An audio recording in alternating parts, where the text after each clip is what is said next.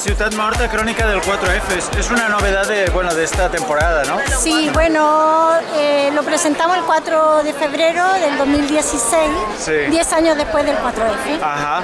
Eh, bueno, ¿crees que de alguna manera se recopila cómo fue el juicio, toda la trama, un poco... Bueno, eh, se recopila el juicio, se recopila experiencias tanto carcelarias como la experiencia de todo el caso de la Patri, que se suicidó, ¿no? Y del Rodrigo y del entorno. Y también se recopila el contexto y se abre eh, un espacio al final en el epílogo para otros casos. Bueno, qui- quin llibre esteu presentant aquí? Fotomovimiento, no? Sí, bueno, aquest, aquest llibre ja, ja té un any. Sí. Va fer fa l'any passat, llavors el que era era cobrir els 4 anys des, de, des del 15M fins a la sortida de la llei Mordaza. I és un recull de totes les lluites de Barcelona. De fotos dels moviments Sí, socials... a tots o- els moviments socials. Sí, sí. Molt bé, moltes gràcies. Vinga.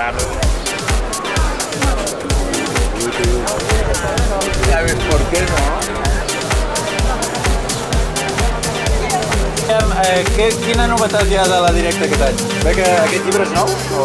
Sí, eh? Sí, és, eh, el vam fer fa poc, és una recopilació de 12 entrevistes que havíem fet al llarg d'aquests d'aquests 10 anys eh, de veus de persones represaliades o d'advocades o de plataformes de solidaritat i de suport. Ahà. Ostres, Sí, això està dins de la campanya uau, de...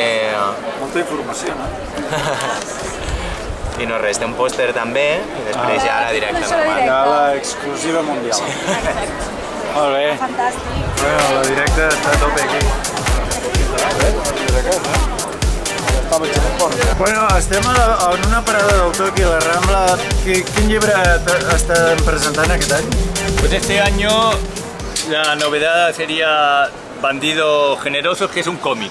Un libro de que va, que va de... No va de los ladrones estos de guante blanco que están con los políticos, no va de los empresarios, sino de los bandidos que la gente suele protegerlos, suele simpatizar con ellos. O sea, bandidos como quien dice que nunca roban al pobre, sino al rico y al poderoso y que comparten el botín. El prólogo lo ha escrito Enric Durán desde la clandestinidad y ahí explica un poco lo que es el bandidaje social. Eh, bueno, quin llibre estàs presentant tu aquest any?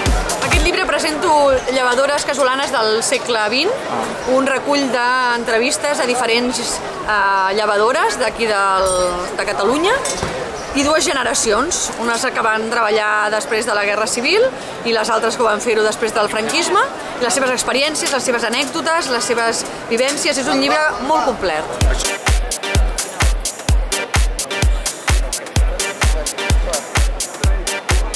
Estem dins la parada de la Ciutat Invisible, la, potser la parada amb més gent de la, de la Rambla.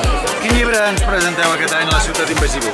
Doncs mira, us presentem una edició col·lectiva que han fet els companys de la Condiesel, que és el, han fet l'edició en català i l'edició en castellà de Anem Junts, Vamos Juntos, que ha sigut una, una edició col·lectiva feta tota la producció de continguts eh, a, par, a, par, a partir de les persones que van protagonitzar aquest episodi de vaga i el Quique Tudela ha sigut la persona que s'ha encarregat de, de, de narrativitzar tot el que han anat explicant. És una edició molt currada, que a més ha sigut una mica un, un procés de consolidació d'aquesta col·lectivitat que va protagonitzar l'episodi de la Condiesel i estem molt contents de, de que s'estengui el, el virus de la col·lectivitat al, al món editorial també.